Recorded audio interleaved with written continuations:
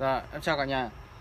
À, hôm nay à, cái cây à, ờ, hài Henry Henry nó nở. Lên vườn em à, quay lại cho cả nhà thưởng ngoạn này. Nó em phát hiện ra nó mới nở được khoảng 3 ngày nay. à.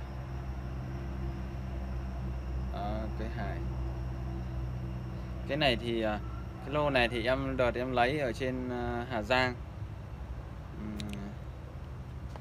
Chị gì nhỉ?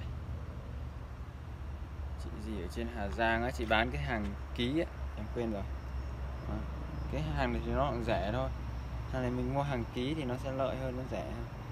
Ở vườn thì em có có em trồng ở dưới nền, mặt nền em trồng chơi á. Đẹp đúng không ạ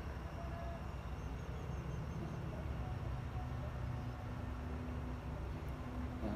Bây giờ đang có một số cây hải dâu xanh nó cũng đang nở rồi. À đang đang nụ. Đang nụ thì hôm nào nó nở rồi em sẽ quay lên. À.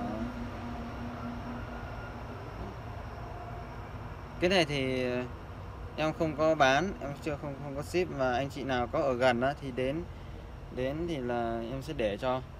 Thế còn em không có ship bưu điện cái hàng này. Để chơi là chủ yếu thôi, Trồng chơi chơi vui thôi.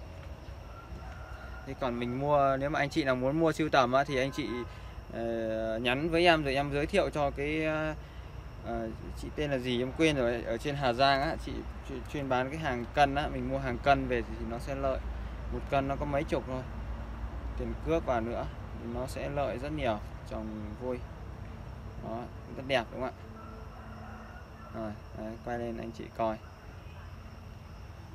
Đó là cái hải Henry thì cái tên khoa học với lại cái về cái thông tin cây này rồi em sẽ để ở dưới cái phần ghi, ghi, ghi chú của video này. Nếu anh chị muốn tìm hiểu thêm thì có thể theo dõi yeah.